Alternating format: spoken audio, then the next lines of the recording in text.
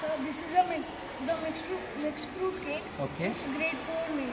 Okay आप सबने बनाया ये मिक्स फ्रूट केक आपने तो उसका भी ये रोबो के हाँ, स्टाइल से कटिंग करते हैं? हाँ तो कैसे करना है? ये सेंटर का बटन दबाना राइट वाह और अभी अभी अभी कैसे करना? राइट Go right and तो तेरे पास आ गया। हाँ। क्लिक तो और ये गया है. Happy birthday